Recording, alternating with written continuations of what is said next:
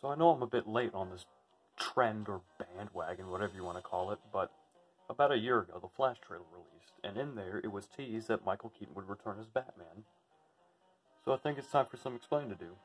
Uh, little not so known fact about me, unless you're one of my friends. Michael Keaton is my favorite Batman actor, like ever. Yes, I like him even more than Christian Bale. Not saying anything against Christian Bale, just that I grew up with Michael Keaton's movies. And the soundtrack you know from the Lego games. But I'm not here to talk about the movie, at least not yet. I'm here to talk about the figures because, you know, I do toy reviews and I haven't done a movie review. Well, I tried, but that went horribly. So, anyways, why don't we get started with, well, you know, a Batman figure from Michael Keaton's movie.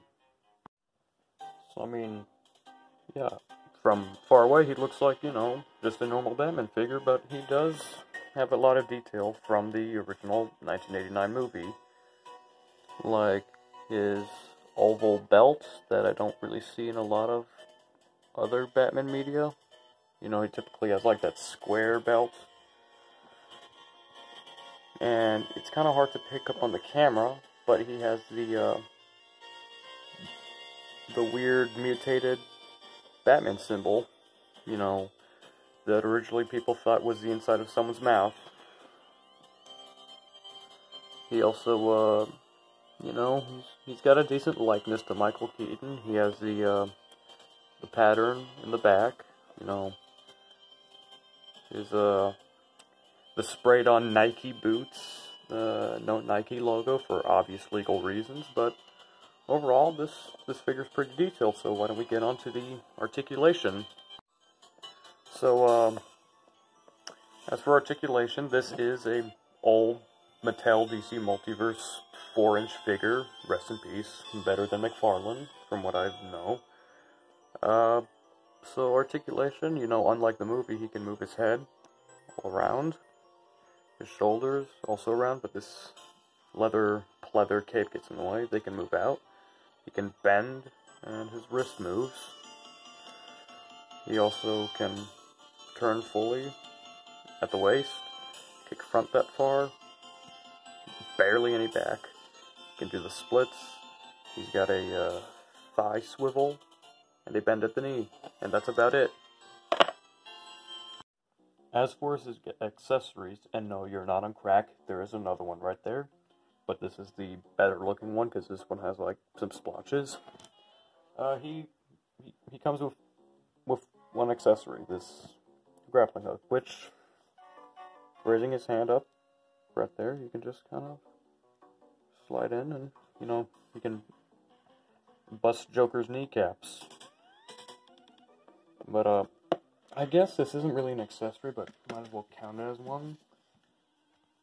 Uh, I don't have the box because, you know, I was a child when I got this, but I, I have this card it came with. You know, it says Batman, Mattel, and it has a has a photo. So yeah, you know, that, that's nice. Uh, but that's not all. You know, I have other 1989 figures. This is just part one, so let's move these to the side and move on with the next one. So besides Batman himself, we have another famous piece from the movie, and probably one of the most iconic movie cars of all time, the 1989 Jada Toys Batmobile.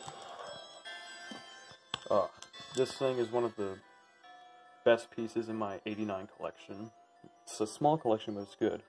So it's a car, you know, it moves up and down like that. It has some detail, like the bat symbols there. Underside, that's it. You know, exhaust pipes. This is a big piece, so I kind of have to move it around. The front, kind of like that. This is, it, it looks loose, but it's not. And we also, uh, you know, thing can slide open. Let me get a light in there for more detail. Yeah, you know, it's got some decent detail. I've really got to dust this thing. Uh, it's got hubcaps. This front, this back part right here can uh, open to reveal the engine. And of course, another part of the movie is when Batman straight up guns people down. Not really, but he uses guns, surprisingly. And it comes from, let's slide this back, just flipping these little things right here. And boom, you can now shoot the Joker down because Batman was sick of him always escaping. But yeah, this is uh, the Jada Toys Batmobile. The box is also gone again. I kind of I didn't have enough room. Plus, it was a box. Uh, it comes with this small little Batman. You know, it's it's it's a Batman figure. It doesn't move. It's nice. It's metal. Uh, the eyes aren't has white eyes, unlike the movie, but it's pretty detailed. You know, rubbery cape with white, so it kind of eh, it looks good from some angles. But yeah, they got the mutated bat symbol and everything, so I mean, it looks pretty good. But that's not all. I also have a second car, a smaller one, but yeah, we'll get into that right now. This isn't as accurate as the other Batmobile just showed, but this is older. I had this one for longer when I was but a wee little child. So this would typically go with this one. Uh, it's a Hot Wheels, you know, not as much detail, but, you know, still pretty good. Doesn't have the side things, but, I mean, you can still pick this up in Walmart now, just in different packaging, but really it's the same thing. It can also slide open, that's about it. I had a Hot Wheel, like a very small one. This is typically large for one. That would, yeah, but that's gone now. But, uh, we have one more thing left, and then that would be time for size comparisons. Now this technically isn't a 1989 Batman figure, but it looks a lot like it with the oval belt and all that, and plus it was my first Batman figure, and it looks fairly decent to be in the 1989 collection, and that is a the Batman figure that looks a lot like Keaton. I mean, of course, it still has a cartoony head sculpt and this was my first Batman action figure ever, actually. Like, I got him at a thrift shop. And, uh, yeah, it shows. He has bite marks from my dog and a custom cape because he never came with one. The tape is recent. He broke in half, and I didn't want to throw him out because, again, he was my first Batman figure, so I just kind of taped him together. But, uh, his articulation, he can move his head around, but since he's so old, I kind of move can move his whole collar. His, uh, Arm can go all around and can bend like that. His waist could swivel, but you know it's broken in half, so it kind of it kind of can't. But he can kick front fairly far and back pretty far. I'm got to be very careful. This thing will break the tape. And uh, he's got a knee bend, and that's about it. You know, that's my first ever Batman figure, and I'm glad he looks a lot like the Keaton Batman. So now it's on to size comparisons. Only for the figures, I am not doing the cars. So starting with uh, the 89 figure himself, let's compare him to my other 4-inch DC Multiverse figure, and my only one, the Arkham Origins Batman, which was my first DC Multiverse figure ever, if you can stand. And, I mean, Keaton Batman's taller than Origins. You'll cry about it, gamers, but you know, I actually like the Origins. I have it on 3DS. And then let's compare him to my other movie Batman figures.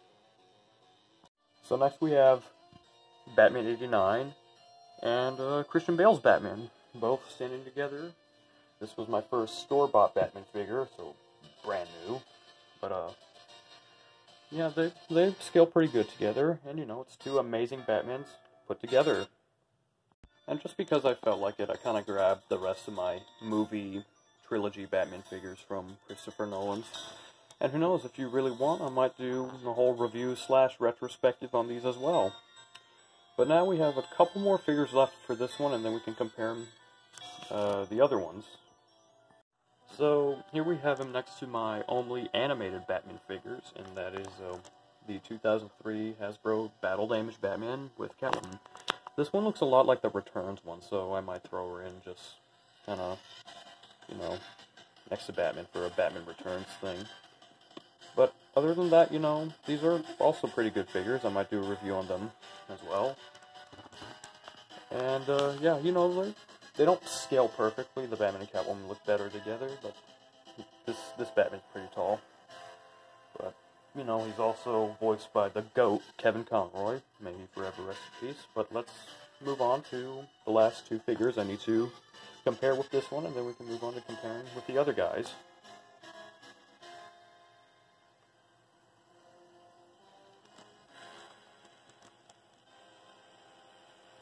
So here we have him compared to my basic Ben Affleck Batman figure. Not the multiverse, just the basic one.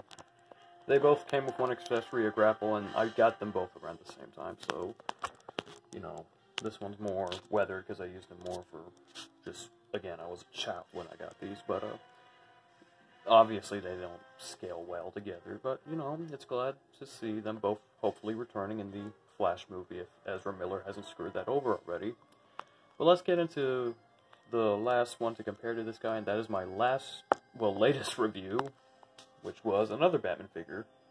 So he is compared to my uh, most recent DC Multiverse figure, the, uh, well, not really, but the DC Multiverse Batman Super Friends. Two of my most favorite Batman figures compared. Again, this is a 6 inch figure, this is like a 4 inch figure, so they don't compare very well, but, you know, one's a nice classic comic version, one's a nice classic movie version, so, yeah. If you're into that, pick these both up. You'll probably have a better time picking him up than him, I don't know. But yeah, now it's on to move to the other guy, and then, yeah. Picking up where the 89 Batman left, we have the Batman figure next to him, and they, they scale, I don't know, alright, I guess. You know, this is about the size Robin could be for this one, but, like, yeah, they still scale pretty good together. This one's, like, so tall you can't even so just pull the camera back. Yeah, they don't really scale well, but they do look decent. Both of them, they look really good. So it's on to the next one. So here he is next to the Ben Affleck Batman. I thought these would scale better together, but they also don't. He's still taller than this one. But, you know, again, different sizes, different years. This is like 2007 and this is 2016 or 2015. I can't remember. I haven't seen Batman versus Superman in a long time. But, yeah, that's, uh, that's Affleck and the Batman together. So, here he is compared to the animated Batman figures. Two animated Batmans together, and, uh, yeah, you know, that's it. It's on to the Christopher Nolan figures, and then we're done comparing him. So here he is next to all the uh, Christopher Nolan and the Blackgate figure. Almost forgot about him. But uh, yeah, you know, he towers over all of them because this is like a five inch figure, and these are three and three quarter inch, four inch. I don't know, close to each other. But uh, yeah, that's it. And just because I don't want to go through the same hassle with the little Batman figure from that Batmobile here is. He is smaller than the mall, smaller than three three quarter inches. He's like two inches, maybe. I don't know. I don't have a roller, and I'm too lazy to get one. But yeah, that's them all combined, and of course we gotta put them all together for the last last size comparison, and that is the big three, the ones that always typically appear in my uh, reviews. Like order of reviews, we have my first review, the Mego Action Jackson. Let me just get him to stand. And yeah, 8 inch figure towering over everyone. The odds? And then we have uh, my second review, the NECA 1954 Godzilla, which completely killed Batman, but he's Batman, he always comes back. Just like in actuality, Godzilla towers over them all. And then we have, uh, we, we have my Optimus Prime, my third review. And yeah, that's that's them all compared, but we can't forget one, and that's the one I've started to throw in more. That is my Tobey Maguire Spider-Man. Uh, yeah, he's gonna be kind of in them all because, you know, he's Tobey Maguire Spider-Man. My favorite Spider-Man and my favorite Batman. That's, that's cool. But, you know, again, 8-inch figure towering over them all. But yeah, basically, uh, that's it. So that was my, uh, Batman 1989 review slash retrospective, if it even was a retrospective, I don't know. You know, I hope you enjoyed, and maybe I might review the movie someday, because this really did impact my life, as you can tell with my own Batman movie that I made. But until then, I'm Super Mario Fan, and I hope you enjoyed this video. Well, that was fun. Now it's time to just clean this all up, you know, put in the pile over there, we'll take care of it in the morning. Ah, maybe I should review this movie one day. It's not like I've ever reviewed a movie in my life. What's that? you